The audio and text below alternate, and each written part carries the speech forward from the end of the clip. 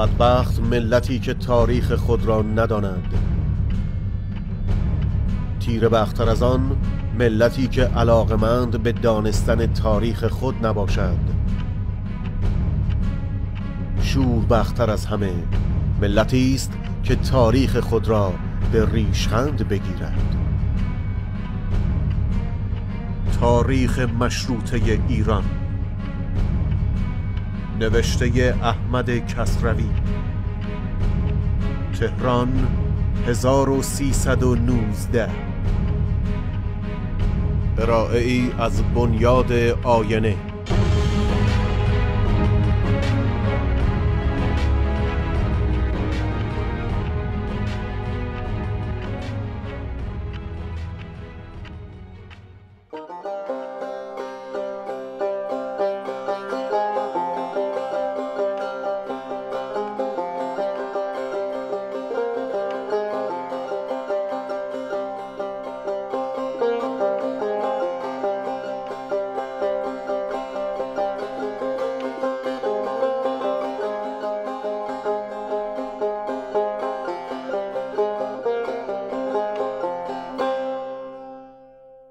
بداندیشی های عین الدوله.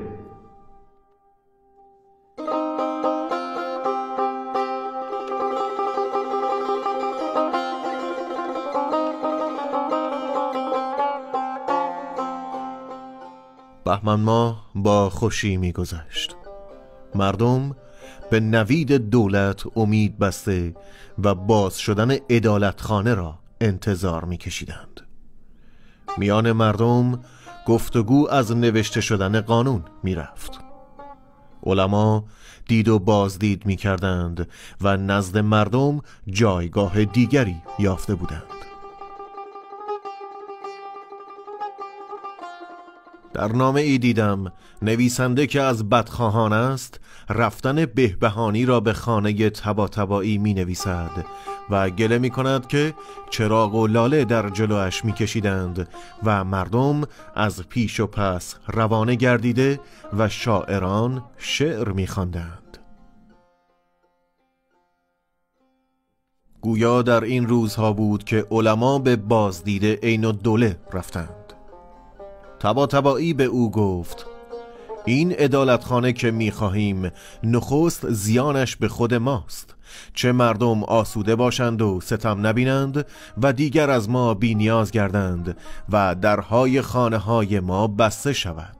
ولی چون عمر من و تو گذشته کاری کنید که نام نیکی از شما در جهان بماند و در تاریخ بنویسند بنیاد گذار مجلس و ادالتخانه عین دوله بوده و از تو این یادگار در ایران بماند. عین دوله پاسخی نگفت و از شنیدن نام مجلس ابروها در هم کشید. راستی این بود که او می‌خواست گوشی به این سخنان ندهد و اینکه ناگزیر شده و کوشندگان را به تهران بازگردانیده و آن دست خط شاه را به دستشان داده بود می‌خواست همه را نادیده گیرد. کوشندگان را با چار جویی ها از نیرو اندازد و از میان برد. او می‌خواست خود ایران را نیک گرداند. ولی از چرا؟ از راه خودکامگی.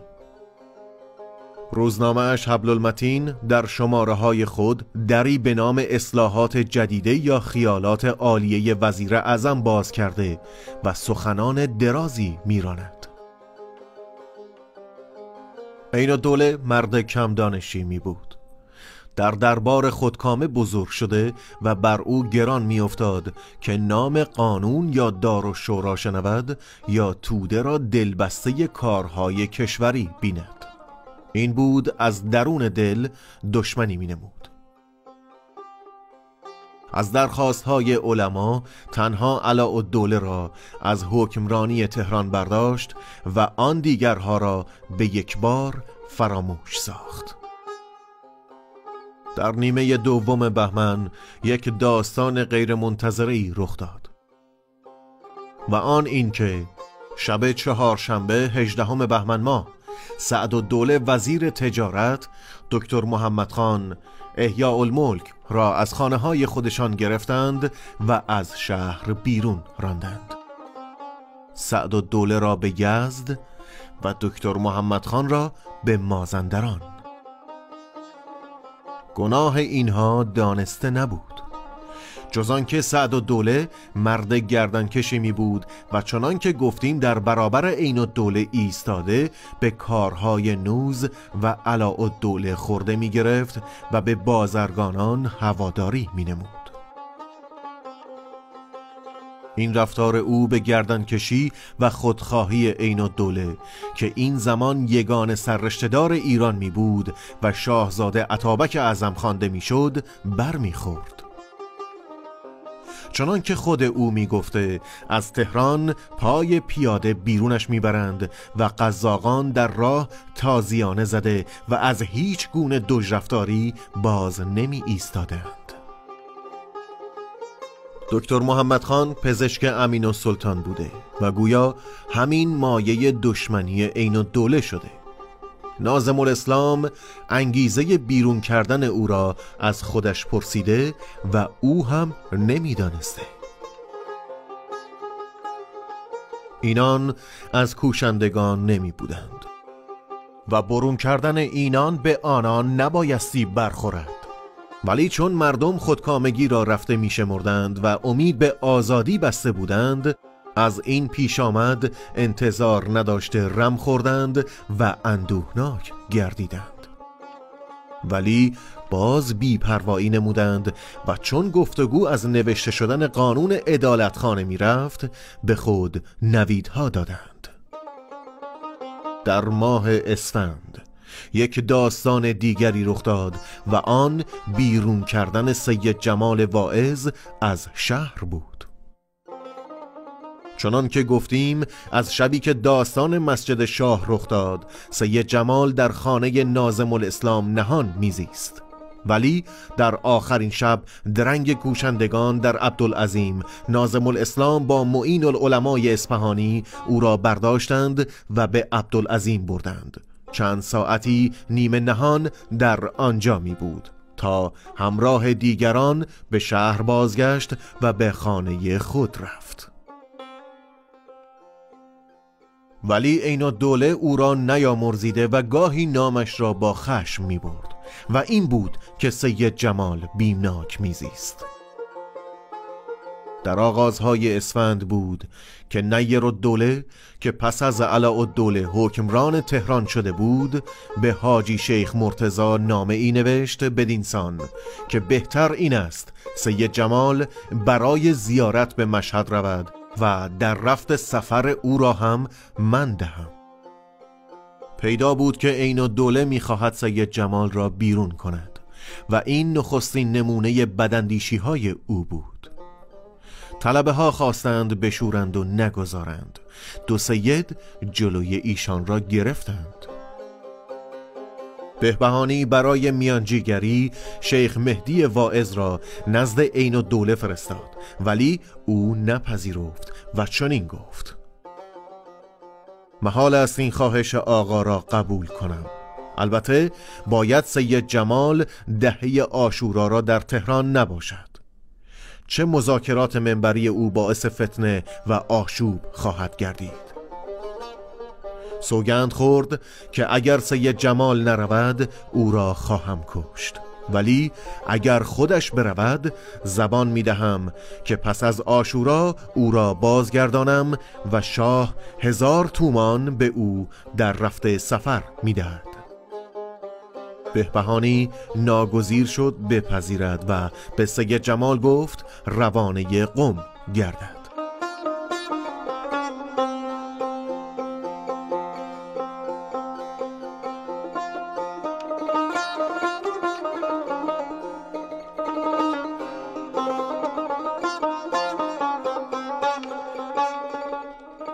در تاریخ بیداری می نویسد آقا سید جمال گفت مقصود همه ما فقط این است که شاه مجلس شورا بدهد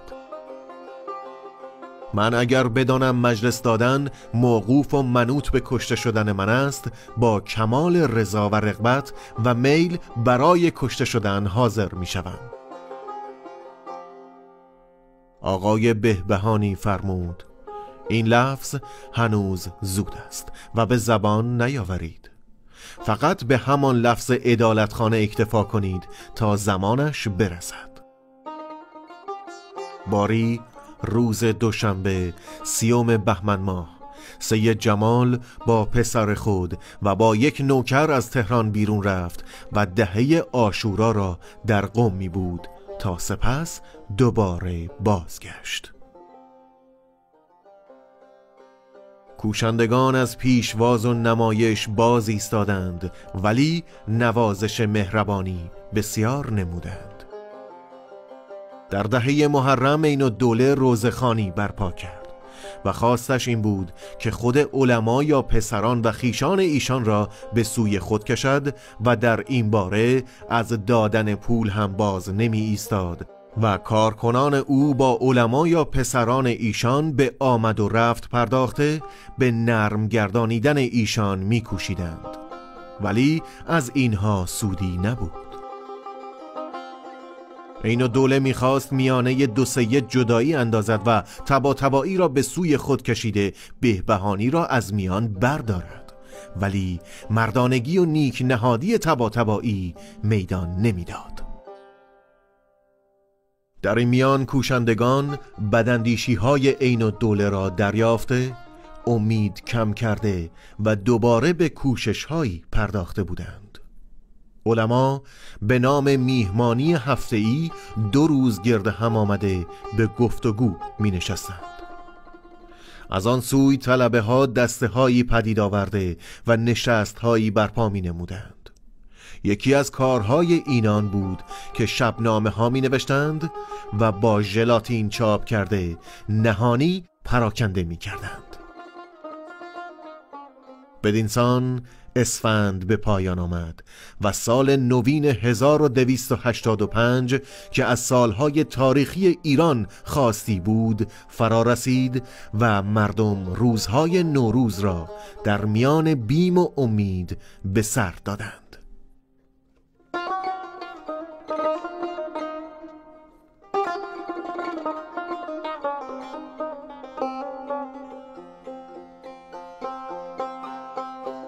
در آخرهای فروردین یک شب نشینی میان عین و دوله با تبا تبایی رخ داد و آن چنین بود که احتشام السلطنه که از کسان نیک نام شمرده می‌شد و تازه از سفارت آلمان بازگردیده بود به خانه تبا تبایی آمد و با او سخن از عین دوله و کارهای او به میان آورد.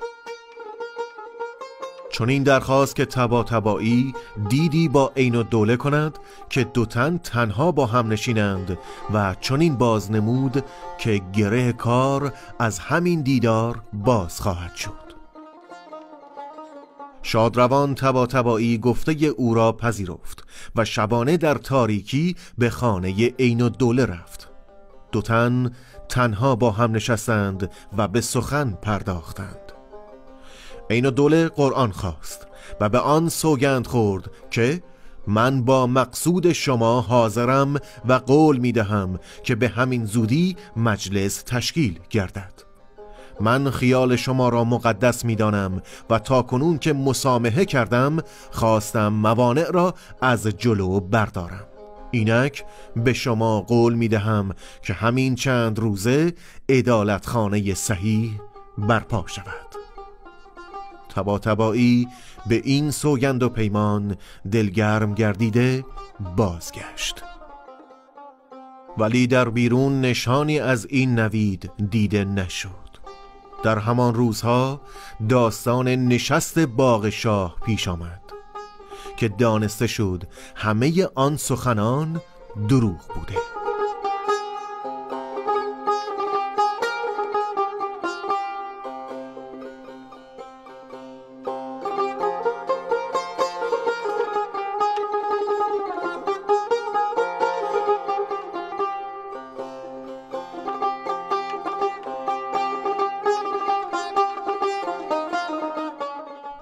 نشست در باغ شاه.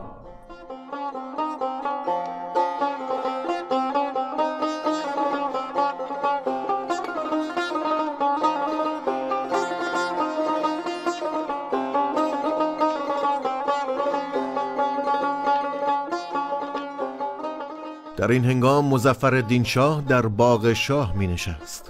عین دوله روز سهشنبه دهم اردیبهشت نشستی در آنجا برپا کرده از وزیران درباره ادالتخانه و به کار بستن دستخط شاه مشورت خواست. چنانکه گفتیم عین دوله هیچگاه نمی‌خواست گردن به درخواست های کوشندگان بگذارد. گذشته از آن که نمی‌خواست رشته فرمان روایی خودکامانه را از دست دهد چون خود مرد کم دانشی می بود. از قانون و مجلس و این گونه اندیشه ها می رمید و آنها را دشمن می داشت. این بود پافشاری در نپذیرفتن درخواست ها می کرد. چیزی که هست نمی‌خواست همه گناه به گردن او باشد و می‌خواست کسانی را نیز همباز گرداند این نشست برای آن بود و از پیش به برخی وزیران سفارش ها شده بود. این دوله سخن را چنین آغاز کرد. همه می‌دانید که اعلی حضرت پادشاه دستخط ادالتخانه را بیرون داده. من اگرچه دستور دادم نظام نامه آن را نوشتند و اینک به پایان میرسانند ولی خود ایستادگی نشان دادم و کنون چون ملایان دست بر نمی دارند و شبنامه ها می نویسند شما ببینید آیا بهتر است که دست خط را به کار بندیم یا ملایان را نومید گردانیم و با نیروی دولتی پاسخ دهیم؟ باشندگان همه خاموش ماندند. دوباره گفتگو را به میان آورده پرسید. احتشام و سلطنه پاسخ داد. بهتر است دست خط را روان گردانید. زیرا اگر روان نگردانید دولت را به نزد مردم ارجی نماند. از آن سوی بنیاد ادالتخانه زیانی به دولت نخواهد داشت. امیر بهادر جنگ وزیر دربار گفت چنین نیست. برای دولت آن بهتر است که دستخط به کار بسته نشود. چه اگر ادالتخانه ای برپا گردد باید پسر پادشاه با پسر یک میوه فروش یکسان گردد. آنگاه هیچ حکمرانی نتواند دخل کند و راه دخل بسته شود. احتشام و سلطنه گفت جناب وزیر دربار دیگر بس است. دخل تا کی؟ ستم تا چند؟ تا چه اندازه مردم را خار و نادار می خواهید اندکی هم دلتان به حال توده سوزد. بیش از این مردم را از دولت رنجیده نگردانید. علما را دشمن شاه نسازید. حاجب و دوله به سخن در آمده گفت اگر ادالتخانه برپا شود دولت نابود خواهد شد.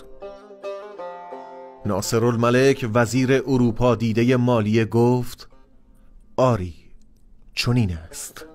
هنوز در ایران هنگام برپا کردن مجلس نرسیده.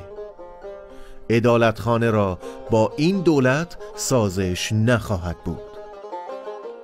امیر بهادر دوباره به سخن در آمده گفت جناب احتشام و سلطنه شما را که از قاجاریان می باشید نباید خورسندی دهید که پادشاهی از این خاندان بیرون رود.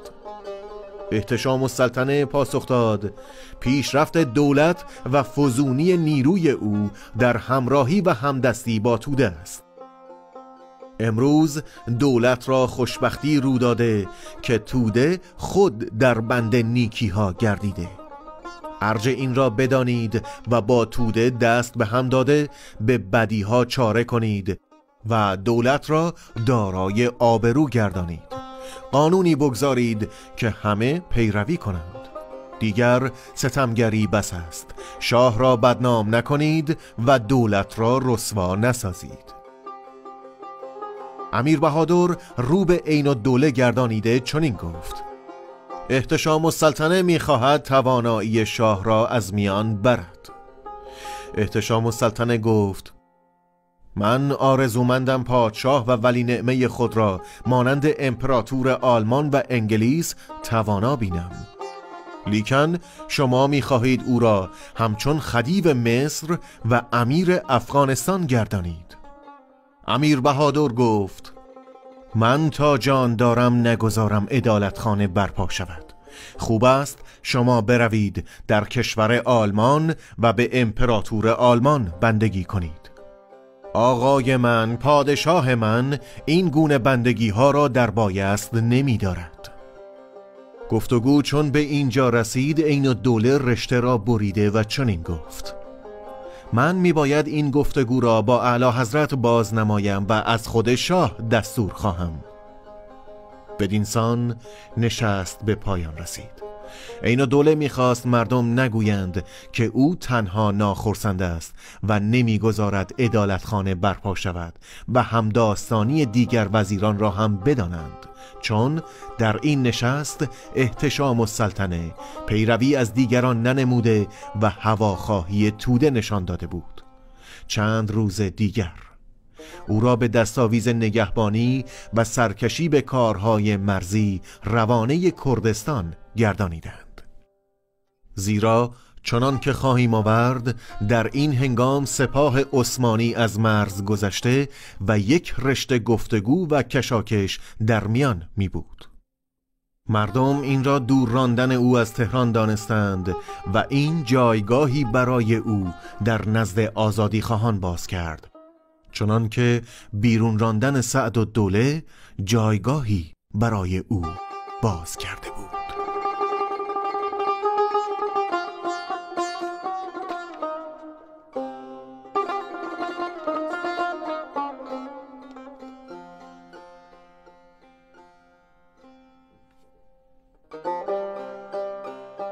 نامه تبا تبایی به عین الدوله.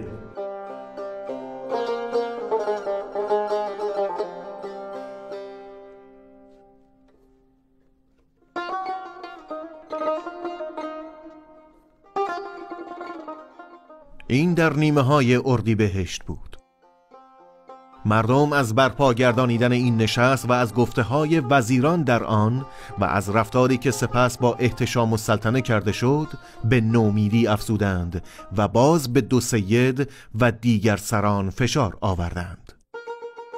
تبا تبایی نامه ای به این دوله نوشت که اینک آن را با اندکی کوتاهانیدن در اینجا می آوریم کو آن همه راز و عهد و پیمان؟ مسلم است از خرابی این مملکت و استیصال این مردم و خطراتی که این صفحه را احاطه نموده است خوب مطلعید و هم بدیهی است و می‌دانید اصلاح تمام اینها منحصر است به تأسیس مجلس و اتحاد دولت و ملت و رجال دولت با علما عجب در این است که مرض را شناخته و طریق علاج هم معلوم و اقدام نمیفرمایید. این اصلاحات اما غریب واقع خواهد شد. لیکن ما می‌خواهیم به دست پادشاه و عطابک خودمان باشد نه به دست روس و انگلیس و عثمانی. ما نمی‌خواهیم در صفحات تاریخ بنویسند دولت به مزفر شاه منقرض و ایران در عهد آن پادشاه برباد رفته.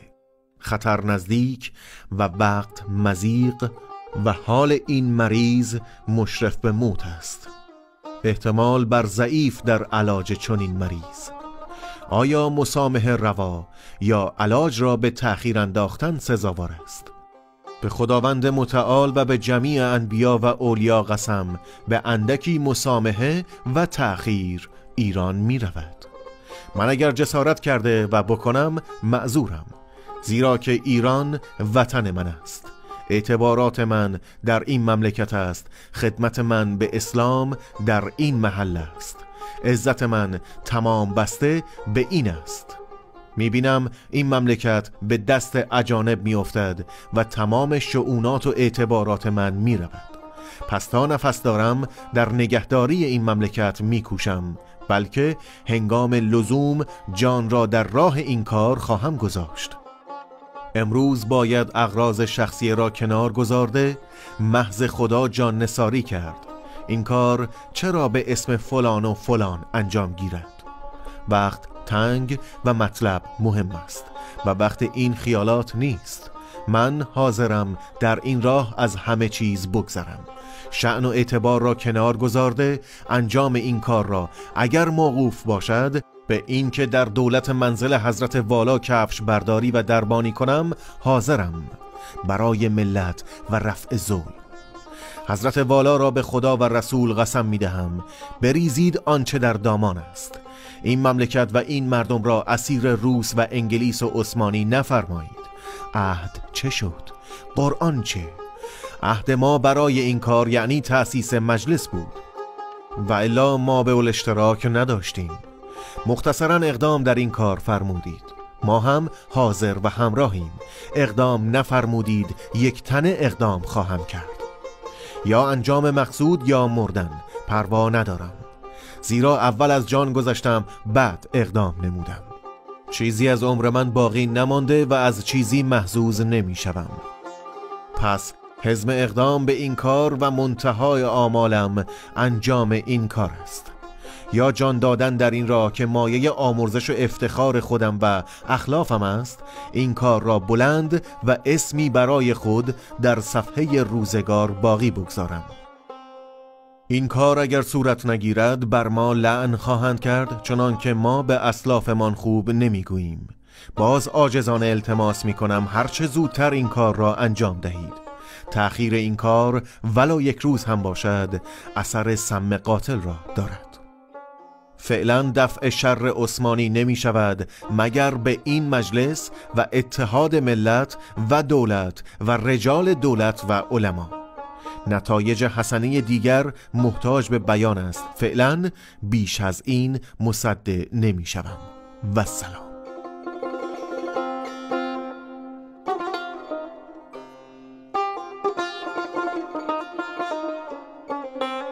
می باید نیک دید که در این نامه به جای عدالتخانه یاد مجلس و اتحاد دولت و ملت کرده می شود راستی این است که این دو سید و همدستان ایشان یک گام دیگری به سوی پیش نهاده کم کم پرده از روی خواست آخرین خود که مجلس شورا و مشروطه می بود بر می داشتند.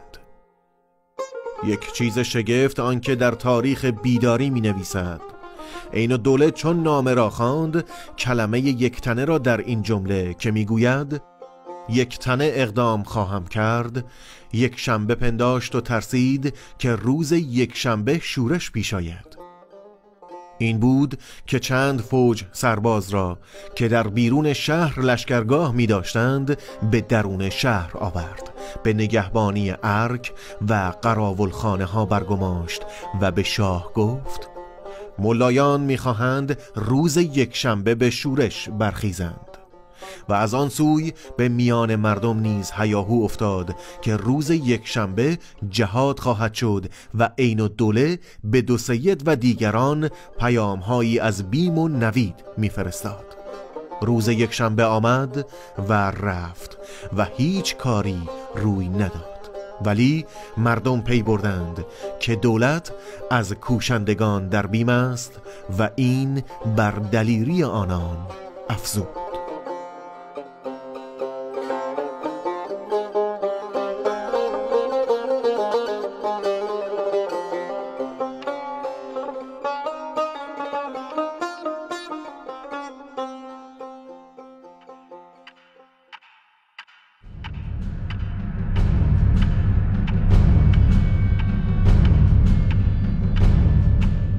بدبخت ملتی که تاریخ خود را ندانند تیر بختر از آن ملتی که علاقمند به دانستن تاریخ خود نباشد شور بختر از همه ملتی است که تاریخ خود را به ریشخند بگیرد. تاریخ مشروطه ایران نوشته احمد کسروی. تهران 1319 ارائه ای از بنیاد آینه.